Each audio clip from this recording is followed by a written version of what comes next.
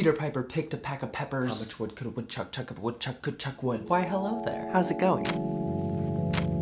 Attention class, if you're feeling any stress, just let out those inner demons. Allow your insides to have a voice. Ah! That's genuinely what's going on on the inside. ah! The harmony lies within the turbulence of it all. Hey, what's up everyone? Uh, it's been a minute in normal times, but it's been probably like a second in COVID times. Honestly, I blinked that I hadn't uploaded in five weeks, but then I very quickly thought, does it really matter? Because now the world is not metaphorically on fire, it's literally on fire. It's a disastrous new normal. A major factor, climate change. Allow me to be old school for a minute, kick back and just turn on the camera and tell you what has happened to me because a lot has happened to me. This year is fucking bizarre and just when you think you understand how wild and how unique it is, a new day happens. A new catastrophe happens just when you think you have a grip on the world. You don't. You don't have a grip on it. You don't, honestly, it's nowhere near my hands at this point. It's like I threw it across the football field. I am a quarterback and I just threw the world. None of it's in our control. And we just have to accept that.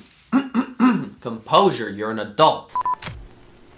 A few weeks ago, I had a few unexpected things happen to me. In the same 24 hour span, I experienced an earthquake, an attempted burglary, and a car accident. So that just kind of started off the spiral that was to follow. I may look fine, but I am barely holding it together right now. I was away, I was trying to not, again, lose my mind. I was trying to figure things out a little bit, try to calm down. So I have just gotten back from that. I have just gotten back from finding my, whatever, you know, something cheesy, finding myself, finding my peace, feeling calm, feeling good about things, whatever. I, I can't believe, I can't, I cannot believe this. 7 a.m. rolls around, my alarm goes off.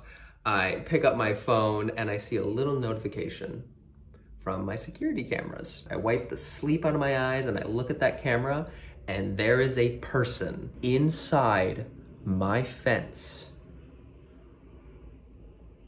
while I'm home. So I click that, th click it, jarred, confused. I thought I was dreaming, jiggling all of my door handles, trying to see if anything was open while I was sleeping in my bed things happen out of my control. Let's keep living. Go for a run, feel a little bit de-stressed. I'm going to go distantly meet up with some friends that had just driven across the country because they are moving to Los Angeles. I get in my car, I go drive. Three miles away from my house, I get rear-ended. Rear-ended. Someone rear-ends my car. That's not where the story ends. You think that's where the story ends. That's not where the story ends. Get out of the car. I ask the person, are you okay? They say yes. I say, I am okay too. That's all that matters. It's fine. It's fine. I get home.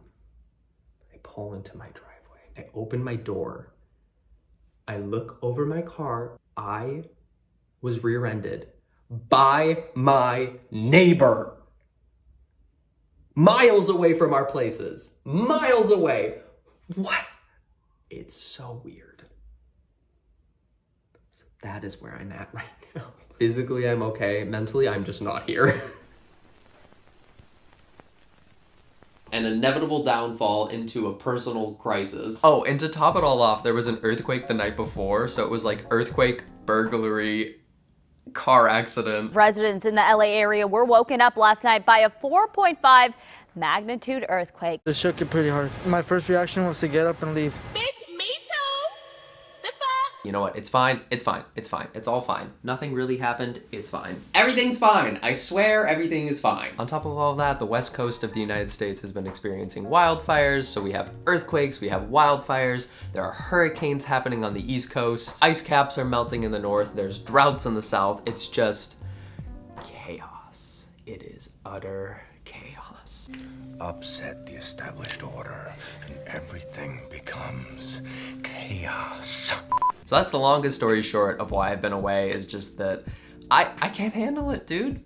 Like, it's, it's a lot. Like I, I don't know. I honestly big credit to other YouTubers, to other creative people, to to anyone that is able to have a grip on normality right now because I just I can't do it sometimes. Biggest credit to anyone who's able to be stable right now because it's hard. Like as if it's hard enough or you think you finally have a grip on it and then you turn the corner and someone like Chadwick Boseman dies or Chi Chi DeVayne, Ruth Bader Ginsburg, Naya Rivera, things like that really, like those are the moments where I hit pause, where I kind of crumble a little bit because it's, like life is just so precious, man. And even when horrible, horrible things happen, you know, I'm I'm still here. I still get the chance to be here and even if things aren't perfect sometimes, it doesn't mean they might not be perfect tomorrow. They might get better next week, next month. You have really no idea and I just that's what's that's what keeps me together is that hope, is that potential for peace. The tiniest steps right now might as well be a mountain climb. So you're doing great. I believe in you. I'm thankful for you. You're gonna make it through this. I feel like that general idea of control is something I need to remind myself of a lot lately during this year, during this time. As much as we don't have it, you still can try to find it in little ways. I've been able to have a few moments over the past couple weeks where I've found a bit of clarity. It was a really small moment and it was, you know, genuinely something that was relatively insignificant, but I had one of these moments where I was out for a walk and I just took like a really deep breath and I felt immediately grateful that the air kind of smelt like autumn, if that makes sense. Like it felt so fresh and so clean. And I just had this moment of like, wow, I'm so lucky to, to be here right now. I'm so lucky to feel this way right now. I'm so lucky that this is happening. And then I'm realizing this. And it's a little bit like hippy dippy, loopy loopy, but it grounded me for a second. And for like a very small moment, I just, I felt peaceful. I felt calm. I felt hopeful about the future and that I could feel this way more often. I get those a lot when I'm alone or where I'm allowing myself to just kind of be with with peace and quiet to like go for a walk with no one else to sit in pure silence with no podcasts no music no tv on because those are the moments where i genuinely feel good the moments where i hit pause and i just exist for a moment Again, we've gone full loopy loopy. We're up there. We're on Venus with the potential life. Have we made any sense? That's where I'm at right now. That's that's that's what's happened to me over the past few weeks. It's an ongoing process. I'm just taking it day by day. to the two people that are still watching this mess unfold, going back a few slides to the fact that it was my birthday. I recently celebrated my birthday. I am 28 years old. Don't know what that means, don't know what that feels like.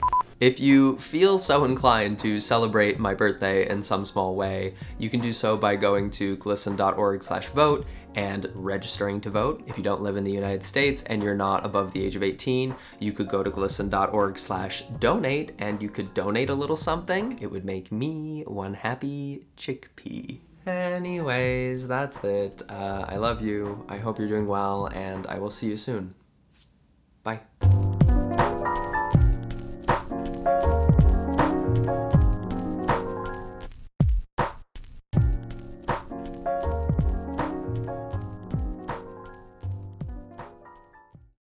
It's more like a mixture of ah and hmm. Fine, it's fine, it's fine, it's all fine. Nothing really happened, it's fine. None of it's in our control. And we just have to accept that.